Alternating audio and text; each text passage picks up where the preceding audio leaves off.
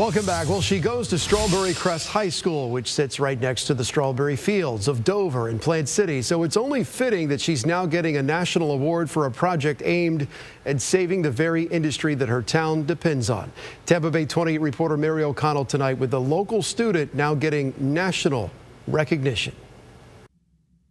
Sit down with Tanishka Aglave for a few minutes, and you'll quickly see her passion for the environment. Since a young age, I've actually grown up on a farm. It's that passion that helped drive innovation and now major recognition. I was in psychology class when I received the email for the award, and then it said congratulations on the top line, and I was really excited. The junior at Strawberry Crest High School named a national winner of the President's Environmental Youth Award by the EPA for her project, Reviving Citrus, Reviving Florida. My project was actually aimed to addressing the citrus greening disease, which is known as the most prominent threat to all citrus cultivars worldwide.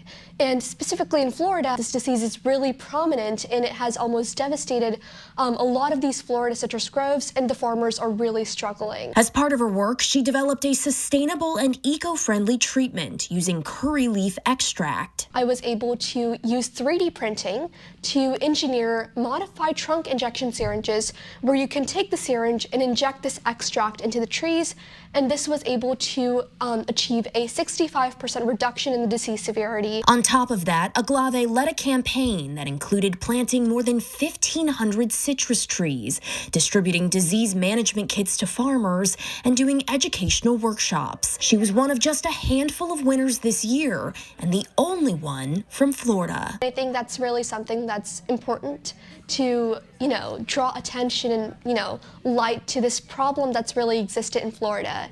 And I think that going forward, this could really help a lot of Florida growers. Aglave tells me she wants to go into the biological sciences. And though she's just 16 years old, it's clear her future is bright. In Dover, Mary O'Connell, Tampa Bay 28.